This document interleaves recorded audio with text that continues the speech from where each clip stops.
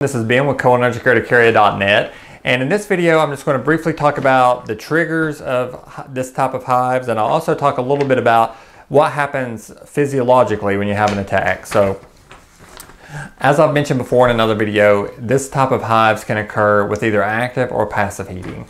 And active heating is going to be anything where you're physically exerting yourself or you're you know you're working up your own body temperature. Some examples any kind of exercise. So if you're running jogging weightlifting um, dancing anything like that can increase your body temperature and cause a reaction. Any kind of sports if you're you know play baseball football basketball any any kind of wrestling any kind of sport like that you can cause a reaction to occur. Uh, even if you have sexual intimacy um, and even strong emotions can cause a reaction. So if you're watching a television show and you just burst out laughing all of a sudden, that can cause a reaction. Uh, you'll probably quit laughing pretty quickly if you have a reaction, but that can cause it. Uh, if you are very anxious or nervous, if uh, something catches you by surprise and you have that sort of rush of adrenaline all of a sudden, if you become really angry at something or anything like that, those things can all cause reactions. And it would happen to me often that you know, I would, you know, even laugh at something with my wife or, you know, just playing around with her laughing or something and I would have a reaction, get a little bit irritated. And uh, if you get nervous in school, like, you know, some people, you might be in a desk and a teacher calls on you and it sort of, you know, makes you anxious or nervous all of a sudden, that can increase your body temperature just, just enough to cause a reaction sometimes. You can also have this with passive heating and some examples of passive heating if you eat spicy foods.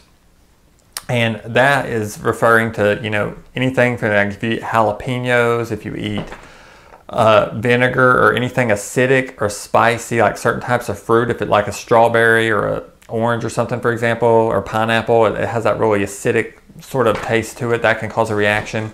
Again, vinegar, like vinaigrette dressing or something like that. Um, and just any kind of hot chili peppers, anything like that can cause a reaction. So you want to watch that. Not all people get that, but most people seem to report that spicy foods will cause a reaction.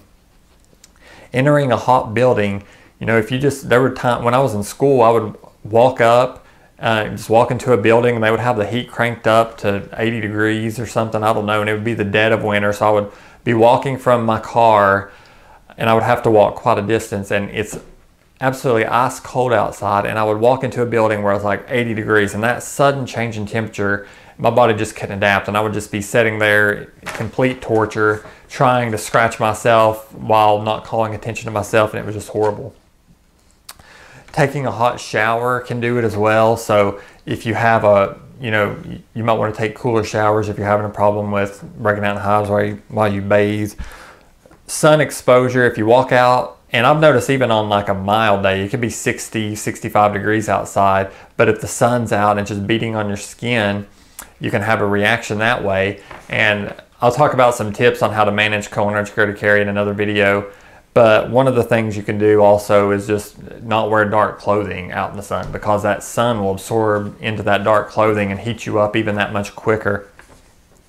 And any kind of hot weather in general, you know, you could be sitting in your room and if you have the thermostat cranked up, whenever you know your body becomes so hot to a point where your hypothalamus says, okay, we need to release some sweat to cool you down, that's going to cause a reaction in you. And I'll just briefly outline the physiological process as I understand it. And this is what most research and articles that I've read seem to suggest. And it kind of makes sense, but you know, I could always be a little wrong about something. But there's a portion of your brain which is called the hypothalamus, and it controls uh, various functions in your body. It controls your body temperature, your hunger, your thirst, and so forth. And what happens is when your body becomes a certain temperature, your hypothalamus kind of kicks in and says, okay, the body's becoming a little too hot. We need to cool it down. And what happens is it sends the neurotransmitter down and sends signals down through all your network of sweat glands, all of your body to release sweat. And that's one of the main reasons of sweat is to cool your body down.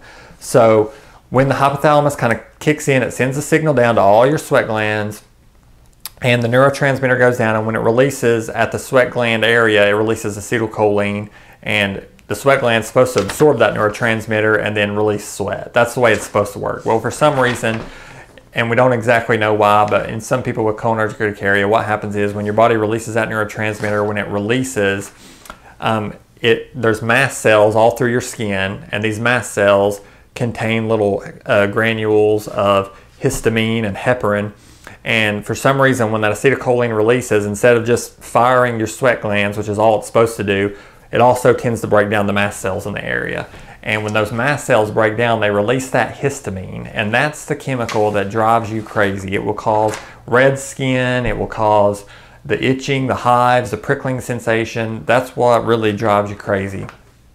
And so that's kind of an idea of what's going on in your body when you're having these reactions. And again, that can occur in passive or active heating. And that's an important distinction to make because there are some other, uh, like exercise induced anaphylaxis, which only occurs with active heating of your body and not passive heating. So that is a characteristic of cholinergic urticaria that is important to note. So that's it for this video. In the next video, I'm going to talk a little bit about some of the causes and some of the a little bit of the research out there. The next video will be a little bit technical, but I'll try to make it as bearable as possible. So thank you so much for watching and God bless.